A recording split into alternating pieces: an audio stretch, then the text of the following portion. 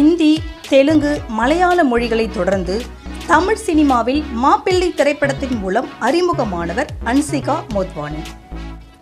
முதல் படம் இவருக்கு பெரிய அளவில் கை கொடுக்கவில்லை.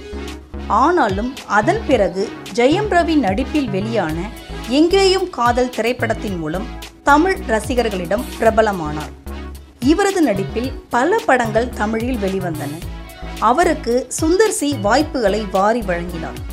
பாலு படத்தில் சிம்புவுடன் இணைந்து நடித்த நிலையில் சிம்புவும் இவரும் காதலிப்பதாக கிசுகிசுக்கள் வந்தன. பின்னர் இவருக்கு எந்த ஒரு படத்திலும் நடிப்பதற்கான வாய்ப்பு கிடைக்கவில்லை. அதற்கு காரணம் அவருடைய உடல் எடை அதிகரிப்புதான் என ஒரு தரப்பினர் கூறி வந்தனர். இதன் காரணமாக ஜிம்முக்கு சென்று தனது உடல் எடையை குறைத்து தினந்தோறும் ஏதாவது ஒரு புகைப்படத்தை வெளியிட்டு தன்னை அறிமுகப்படுத்திக் கொண்டார்.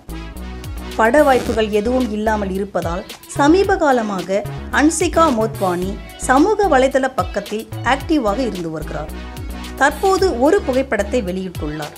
அதில் முழுக்கை சட்டையுடன் அரை டிராயருடன் இருக்கும் புகைப்படம் சமூக வலைதளங்களில் தற்போது வைரலாகி வருகிறது.